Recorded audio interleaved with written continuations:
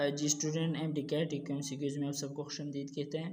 तो स्टूडेंट जैसे कि आपको पता है कि पी एम सी ख़त्म हो चुकी है और पी एम डी सी वापस वजूद में आ गई है। तो स्टूडेंट का एक सवाल है कि पी एम सी के लिए हमने जो एडमिशन किया हुआ था कि वो ख़त्म हो जाएगा या वो पैसे जो हमने जमा किए किए हुए थे, कि वो ज़ाय हो जाएँगे। तो स्टूडेंट इसके लिए एक बेहतरीन तरीके जो है वो इंशाल्लाह मुतारफ़ कराया जाएगा। वो पैसे जो है वो तकरीबन वन लाख स्टूडेंट ने वो एडमिशन किया हुआ था।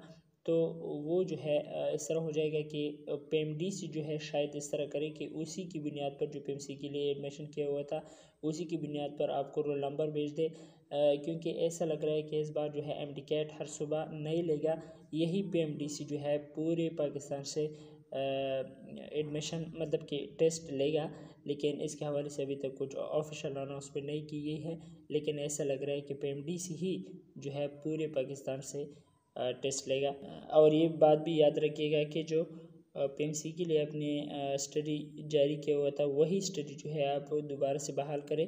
क्योंकि ऐसा लग रहा है कि उसी सिलेबस को जो है पीएमडीसी फॉलो करेगा और इंशाल्लाह पूरे पाकिस्तान से पीएमडीसी ही टेस्ट लेगा। लेकिन ये कंफर्म न्यूज़ नहीं है। जो ही कंफर्म न्यूज़ आएगी, इंशाल्लाह मैं आपके साथ शेयर करूँगा। तो ये थी आज की हमारी वीडियो अगर आपको चल गई हो तो please subscribe to my channel thanks for watching